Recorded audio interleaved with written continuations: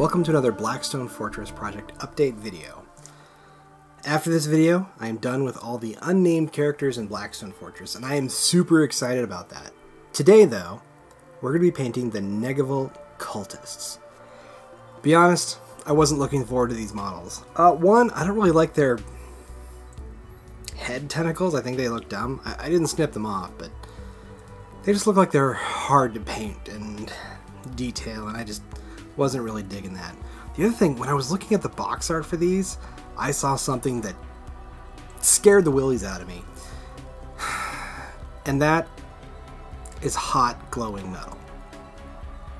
I'll be honest, I'm a better than average painter. Mostly. Maybe not on the internet, but for most people that you would see in a game store. But the one thing I've never been able to really successfully work with is orange and yellow. Um, I'm awful at it. In this video, you're going to see me finally get it about right by facing my fears and just doing it. So, we'll start off with the walkthrough.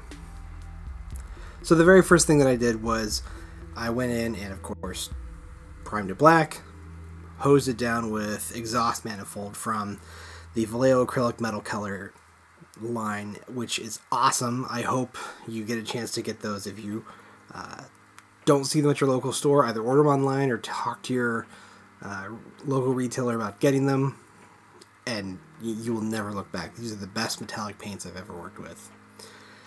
After that, I went in and painstakingly base coated all the skin areas with Splinter Camouflage Base from Panzer Aces. This is again an acrylic Vallejo paint, and that worked awesome.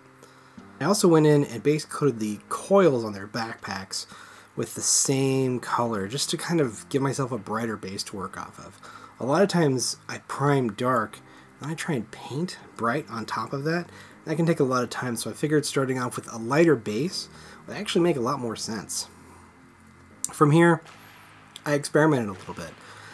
I thought about glazing it with some red. Didn't work, didn't give me the results I wanted. I then went in with a P3 orange from Privateer Press, and I painted it just flat orange, nice and smooth, couple coats. And then I started just blending that on my palette with another P3 paint, just yellow, and then into a white, and just slowly layered it up, and it worked. Problem solved.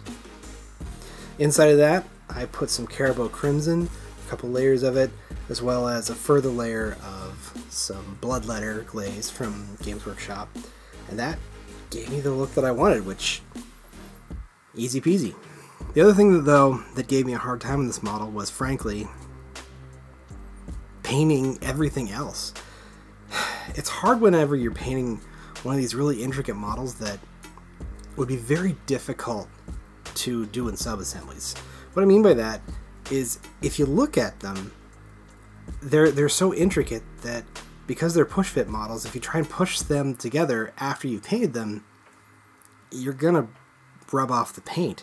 So I had to paint these things fully assembled, which I don't always like to do when it's to be a bad idea, but I did it anyway.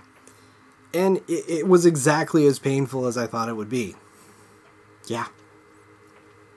There was a ton of cleanup on these models, and it was a huge pain in the butt, but we got it done.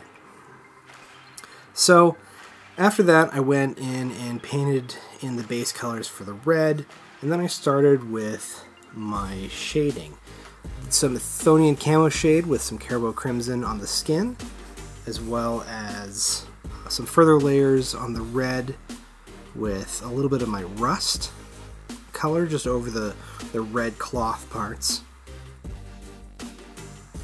And then I went in and gave it a wash of Agrax Earthshade over the cloth again, just to hit those recesses and after that, I gave it a nice overall wash of Nuln Oil and all the metal, and I, I looked at it and I realized it was done. Awesome. Overall, these guys turned out a lot better than I thought they would. They are pretty close to the box art, I'm not going to lie. But I think their overall color scheme is really the look I was going for initially. As I mentioned earlier in the video, I am now done with all the non-named characters in Blackstone Fortress.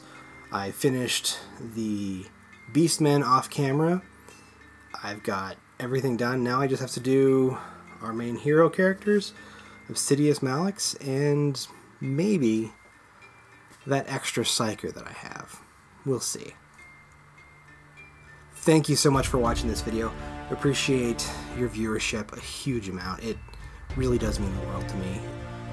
The the likes that I get on the videos are are nice. They're very encouraging and it helps keep me going. The likes actually keep me going a lot because I, I see that people watch it and they like it and that's awesome. If you did like this video and you haven't subscribed already, feel free to hit the subscribe and the bell button.